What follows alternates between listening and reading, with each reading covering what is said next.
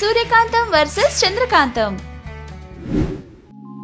Suryakantham versus Chandrakantham. Magical aeroplane ఒకరోజు చంద్రకాంతం తన గదిలో కూర్చుని ఫోన్లో హిమాలయాలను చూస్తూ ఉంది. అలా చూస్తూ వా హిమాలయాలు ఎంత బాగుంటాయి! నా లైఫ్లో ఒక్కసారైనా అక్కడికి వెళ్తానో లేదో? అంత అదృష్టం నాకుందో లేదో? అనుకుంటూ ఉండగా బయట నుంచి సూర్యకాంతం చంద్ర నేను బయటికి పోయొస్తా ఇల్లు జాగ్రత్త. ఆ మాట వినగానే చంద్రకాంతం గదిలో నుంచి బయటికి వచ్చి సాయంత్రం కావస్తుంది కదత్తమ్మ ఇప్పుడెక్కడికి వెళ్తున్నారు? అడిగినవా? నాకు తెలిసే నువ్వు అడుగుతావని. అబ్బా చెప్పండి అత్తమ్మా. హా మన ఊర్లో ఎగ్జిబిషన్ పెట్టిండ్రు కదా చూసొద్దామని. హా అవునా అత్తమ్మ? ఎందుకే అంత నవ్వు వస్తుంది? అంటే మన వల్లనే ఆడించుకునే వయసులో మీకు ఎగ్జిబిషన్ ఏంటా అని. ఏందే? ఏం మాట్లాడుతున్నావు? క్షమించండి అత్తమ్మా తప్పైంది. నేను అక్కడికి పోయేది రంగుల రాట్నాలు ఎక్కి ఆడుకోవడానికి కాదు. అక్కడ షాప్ ఓపెనింగ్కి పోతాన్నా. నేను వస్తానత్తమ్మా. నువ్వెందుకే? జైంట్ వీల్ ఎక్కి ఊగడానికా? అబ్బా ప్లీజ్ అత్తమ్మా నేను కూడా వస్తాను. సరే పదా. అంటూ ఇద్దరు అక్కడి నుంచి వచ్చారు. సూర్యకాంతం తన పని మీద తను వెళ్తూ పనికి వాళ్ళ పనులు ఏం చెయ్యకు నేను ఇప్పుడే వస్తాను అంటూ అక్కడి నుంచి వెళ్ళింది. ఆమె వెళ్ళగానే చంద్రకాంతం వెడకారంగా నవ్వుకుంటూ అక్కడి నుంచి ముందుకు నడుస్తూ ఆ ఎగ్జిబిషన్ని చూస్తూ మురిసిపోతూ ఉంది. అబ్బా ఎంత బాగుంది ఇక్కడ అంటూ అక్కడే తిరుగుతూ ఉంది. సూర్యకాంతం తను వచ్చిన పని పూర్తి చేసుకొని అక్కడక్కడే తిరుగుతూ ఉంది. అలా తిరుగుతూ ఉండగా ఒక పాప ఏడుస్తూ కనిపించింది.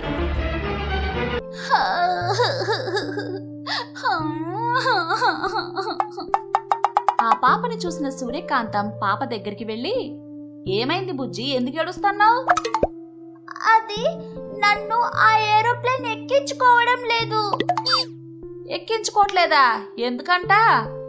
నా దగ్గర డబ్బులు లేవని నన్ను ఎక్కించుకోవట్లేదు. నాకందులో ఎక్కి గాల్లో ఎగరాలనుంది. ఓసి దీనికేనా ఇంత ఏడుస్తున్నావు? ఊరుకో. వాడెక్కించుకోకపోతే ఏంది? గది బొమ్మ ఏరోప్లేనే కదా. నేను నీకు నిజమైన ఏరోప్లేనే ఇస్తాను. దాంతో ఆడుకుందు గాని. అని చెప్పి తన దగ్గర ఉన్న మ్యాజికల్ బాక్స్ నుంచి ఏరోప్లేన్ బొమ్మ ఒకటి తీసిచ్చింది. అది చూసిన ఆ పాప హై నిజమైన ఏరోప్లేన్ ఇస్తా అన్నావు? ఇది బొమ్మే కదా. ఇది బొమ్మలా ఉన్న నిజమైన ఏరోప్లేన్. ఒక మంత్రం చెప్పి నువ్వు ఎక్కడికి వెళ్ళాలనుకుంటున్నావో గది మనసులో అనుకుంటే చాలు. కళ్ళు మూసి తెరిచేలోపు నువ్వు అక్కడుంటావు నిజంగానా? నిజంగానే. కానీ గిది రాత్రిపూట మాత్రమే పనిచేస్తుంది. నువ్వెక్కడికి వెళ్ళినా సరే మళ్ళీ తెల్లారేలోగా తిరిగి రావాలి. అలాగే. మరి మంత్రం? నేను చెప్తా కదా అని ఆ పాపని దగ్గరికి తీసుకుని కాకికో కికాకి కికాకి కాకికో అనేది వెళ్ళడానికి తిరిగి రావడానికి గదే మంత్రం తిరగేసి చెప్పాలా.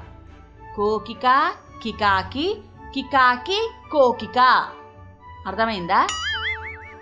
అర్థమైంది. థ్యాంక్స్ అండి. అని చెప్పి అక్కడి నుంచి వెళ్తూ ఉంది. ఇక్కడ జరిగిందంతా చాటుగా ఉండి విన్న చంద్రకాంతం మనసులో మా అత్త అస్సలు మంచిది కాదు. ఊర్లో అందరికీ అన్నీ ఇస్తుంది. ఇంట్లో ఉన్న నాకు తప్ప. అయినా నేనేమైనా తక్కువతానా చూస్తూ ఉండండి. దగ్గరికి వెళ్ళి లాక్కోను. హు. అని అటు ఇటూ చూస్తూ పక్కనే ఉన్న ఒక బొమ్మల షాపులో అచ్చం ఆ పాపకి ఇచ్చిన ఏరోప్లేన్ లాంటిదే ఇంకొక ఏరోప్లేన్ బొమ్మ తీసుకుంది. తీసుకొని ఆ పాపకి ఎదురుగా వెళ్ళి ఆ పాపకి కావాలనే డాష్ ఇచ్చి కింద పడేసింది.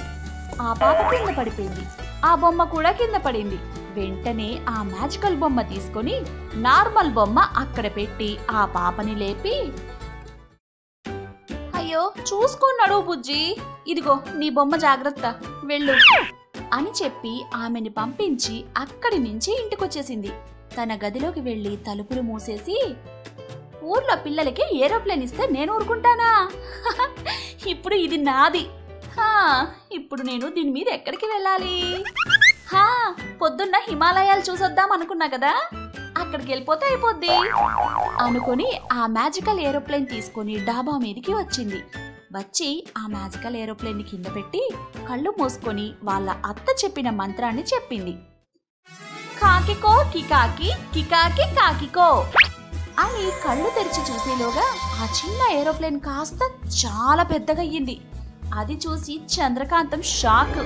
అందులోకి ఎక్కి కళ్ళు మూసుకొని తను ఎక్కడికి వెళ్ళాలనుకుంటుందో అది మనసులో అనుకుంది. కళ్ళు మూసి తెరిచేలోపు హిమాలయాల్లో ఉంది. చుట్టూ మంచు ఎత్తైన కొండలు చాలా అందంగా ఉంది. అదంతా చూస్తూ అలాగే ఉండిపోయింది.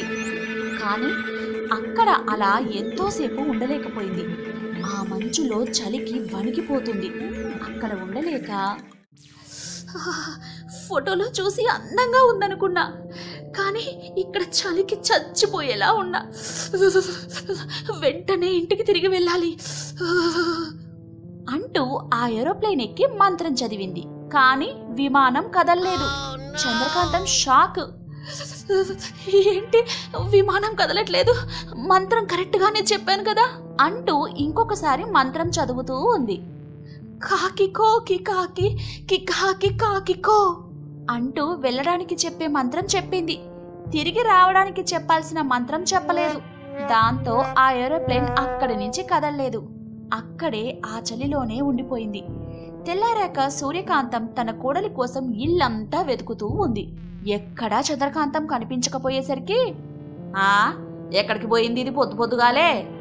అంటూ తన దగ్గర ఉన్న మ్యాజికల్ బాక్స్ తీసి మంత్రం చదివి ఆ బాక్సులో తన కోడలు ఎక్కడున్నది అనేది చూసింది. చంద్రకాంతం మంచు కొండల్లో చలికి బిగుసుకుపోయింది. అది చూసి ఆ అనుకున్నంత పని చేసింది ఇది. ఇది మారదు ఇంకా. అనుకుంటూ ఉండగా ఇక్కడ చంద్రకాంతం మంచులో భయం భయంగా అటూ ఇటూ చూస్తూ ఎవరైనా తనని కాపాడకపోతారా? అని ఎదురు చూస్తూ ఉంది. అప్పుడే అక్కడికి ఒక ధ్రువపు ఎలుగుబంటి నడుచుకుంటూ రావడం చూసింది. ఆ ఎలుగుబంటిని చూడగానే చంద్రకాంతం భయంతో వణికిపోయింది. ఆ ఎలుగుబంటి మెల్లిమెల్లిగా చంద్రకాంతం వైపే రాసాగింది. చంద్రకాంతం గుండెల్లో భయం. అమ్మో, బుద్ధి తక్కువ ఇక్కడికి వచ్చాను. ఇప్పుడు ఇక నేను ఇక్కడే చచ్చిపోతానేమో. అంటూ ఏడుస్తూ ఉంది. ఆ ఎలుగుబంటి చంద్రకాంతం దగ్గరికి వచ్చి నిలబడింది. చంద్రకాంతం కళ్ళు మూసుకొని ఉంది. మెల్లిమెల్లిగా కళ్ళు తెరిచి చూసింది. షాక్! తన ముందు వాళ్ళ అత్త సూర్యకాంతం ఉంది. ఆమెని చూడగానే అత్తమ్మ మీరా? మీరెలా వచ్చారు? ఎలుగుబంటి అనుకొని తెగ భయపడ్డానత్తమ్మా. నువ్వెందుకు వచ్చినవే ఈడికి? ఆ? అయినా పాపకిచ్చిన ఏరోప్లేన్ ఎట్లా దొంగిలించినవే? నువ్వు మారవానే ఇంకా? క్షమించండి అత్తమ్మా అంటూ కాళ్ళ మీద పడింది. సూర్యకాంతం సరే అనుకొని ఆమెని అక్కడి నుంచి తీసుకుని ఇంటికి తిరిగి వచ్చింది. అలా చంద్రకాంతం తన అత్యాశతో మంచు కొండల్లో చిక్కుకుపోయే పరిస్థితి తెచ్చుకుంది. అందుకే అత్యాశ పనికిరాదు. మీరు కూడా అత్యాశ పడకుండా ఉన్న దాంట్లోనే సంతోషం వెతుక్కొని హ్యాపీగా ఉండండి. సూర్యకాంతం చంద్రకాంతం అనే ఇద్దరు అత్తా కోడళ్ళు ఉండేవాళ్ళు. చంద్రకాంతం ఎప్పుడు ఏదో ఒక తలతిక్క పని చేసి అత్తని ఇబ్బంది పెడుతూ ఉండేది. సూర్యకాంతానికి ఓపిక ఎక్కువ. కోడలు ఏ పని చేసినా భరిస్తూ ఉండేది. అలా రోజులు గడుస్తూ ఉన్నాయి. ఒకరోజు చంద్రకాంతం హాల్లో కూర్చొని తన స్నేహితురాలితో ఫోన్లో మాట్లాడుతూ ఉంది. హా ఇంకేంటే సంగతులు? ఏముందే మన సుశీల లేదు? లేదుగా మొన్నే వాళ్ళ అమ్మ వాళ్ళ ఇంటికి వెళ్ళింది కదా. అదే లేవే అమ్మ వాళ్ళ ఇంటికి వెళ్ళిన సుశీలనే వచ్చేటప్పుడు ఉత్త చేతులతో రాలేక గోరింటకు పెట్టుకొని వచ్చిందా? నువ్వు ఇంకా కొంచెం కూడా మారలేదానే? అవునే మా అత్త కూడా పెళ్ళైనప్పటి నుంచి అదే మాట అంటూ ఉంటుంది. నువ్వెప్పుడు మారతావో ఏమో అని. ఇలా ఉంటే ఎప్పటికీ మారవు. సర్లే ఏదో చెప్తున్నావు కదా చెప్పు. ఏమోనే మర్చిపోయాను. గుర్తొచ్చినప్పుడు ఫోన్ చేసి చెప్తాలే. బాయ్ అని చెప్పి ఫోన్ పెట్టేసింది. చంద్రకాంతం ఆశ్చర్యంగా ఏమైంది దీనికి? ఇంతకీ మా అత్త ఏం చేస్తుంది? పొద్దున్నుంచి కనిపిస్తనే లేదు అంటూ అక్కడి నుంచి లేచి అత్త కోసం ఇంట్లో చూస్తూ ఉంది. ఎక్కడ సూర్యకాంతం కనిపించలేదు. అయితే వెంటనే వంటగదిలోకి వెళ్ళి నాకు నచ్చిన స్వీట్ చేసుకొని తినేస్తాను. అనుకుంటూ హుషారుగా వంటగదిలోకి వెళ్తూ ఉంది. వంటగది గుమ్మం వరకు వచ్చి అత్తమ్మా మీరు ఇక్కడున్నారా నేను ఇల్లంతా చూశాను. కనపడలేదత్తమ్మా. వంటగదిలో ఉంటే గాడేనో చూస్తే ఎట్లా కనిపిస్తానే?